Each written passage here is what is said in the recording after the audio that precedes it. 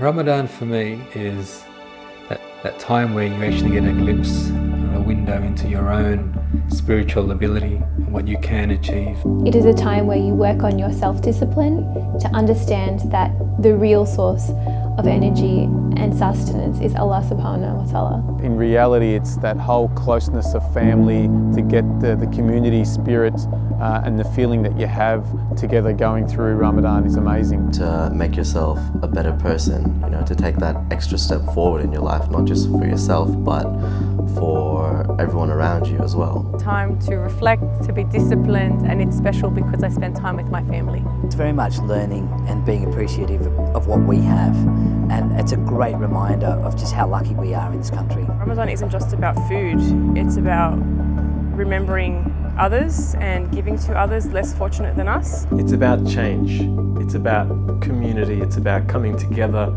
and reconnecting with your Creator. It's a time of mercy, a time of blessing, a time of giving, and a time for family.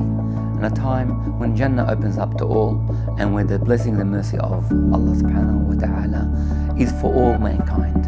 Happy Ramadan. Happy Ramadan. Ramadan Mubarak. Ramadan Kareem. Ramadan Kareem. Ramadan Mubarak. Happy Ramadan.